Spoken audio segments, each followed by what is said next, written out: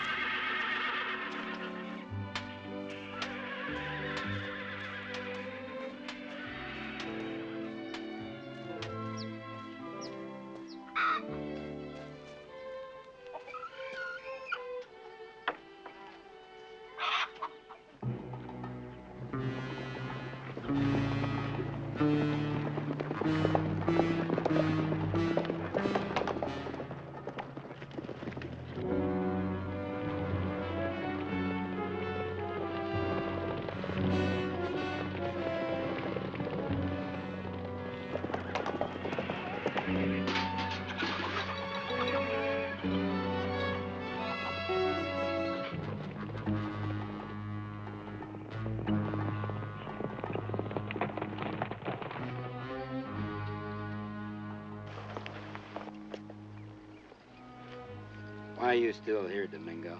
Why should I not be here? This is my land, my home. Not anymore. Didn't you read that paper he gave you last week? I read it. Don't you understand English? That was a court order giving me title to this place. And giving you three days to pack up, get out, and back across the border where you belong. So get moving. I, too, have a paper. Given to me by my father. For years I have it. It says this land belongs to the Domingos. The house we built, the barn we built, the fields we planted. I will not go. You'll get off my land or I'll beat you off.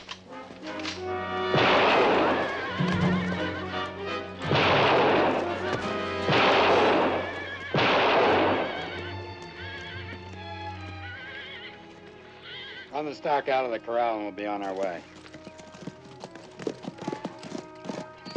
There's another Domingo around here someplace. A girl. Stay here and take care of her.